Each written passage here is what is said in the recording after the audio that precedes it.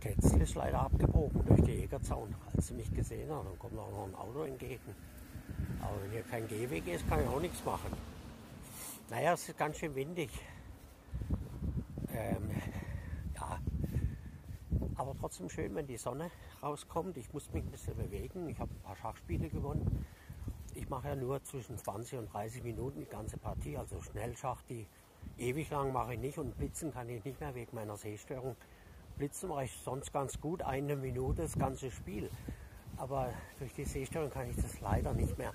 Aber, und Klavier auch nicht mehr so. Aber es ist nicht so schön, jetzt auch mal ein Auto. Der Wind ist ja schon das himmlische Kind. Ne? Der Wind, das himmlische Kind, so heißt es in einem Lied. Ähm, und Sie sehen den schönen Wol wolkigen Himmel. Heiter bis wolkig.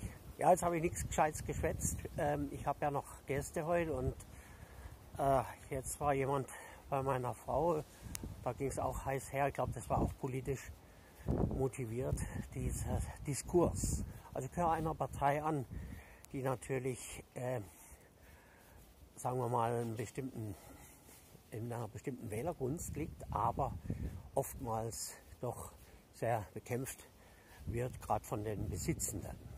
Also das äh, habe ich gemerkt. Ich meine, es gibt ja auch diese Feindesliebe zwischen äh, Grünen und AfD, was ich nie verstanden habe, warum das so ist. Und vielleicht zwischen Linken und CDU ist es so ähnlich. Der war nicht schlecht, der ist von mir nämlich. Also ich habe hier nichts Inhaltliches zu bieten.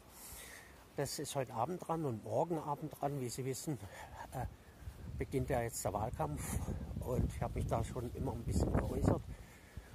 Und dann kann man das mal ein bisschen äh, beobachten, was da zu tun ist. Ich habe auch eine Einladung schon bekommen.